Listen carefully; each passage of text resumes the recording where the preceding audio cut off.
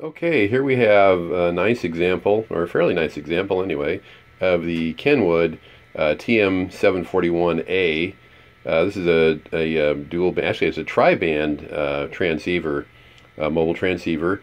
Uh, this one has the two uh, modules that are stock with the unit, the uh, 2 meter 440. It can have a third module, I believe 6 meter and maybe even 10 meter, and I'm not sure about 1.2 gig. But anyway, I know I can have another module installed. This one just has the two factory ones. Has the uh, nice uh, Kenwood uh, hand microphone here, as you can see. Um, when I got this one, uh, I turned it on, and all that would show on display was the word on. and I uh, looked it up online. Uh, what that means is the lithium batteries in here are either dying or dead. And so if you leave it connected to 12 volt power source for an amount of time, it works okay. So here you go. As you can see, it changes frequencies just fine.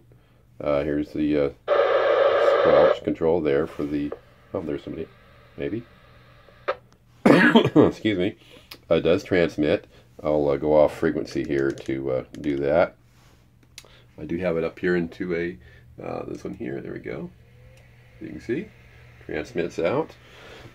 so, it has output power, I don't have the manual to the thing, don't have a mobile mount. I have a very short power cord there, as you can see.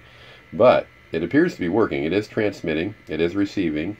I do not have a 440 antenna, but I believe you just simply change bands like that. And there you go. And that's how you do that. But I don't have the antenna connected, so don't have a way to uh, to uh, actually um, um, transmit. so. Uh, there you have it.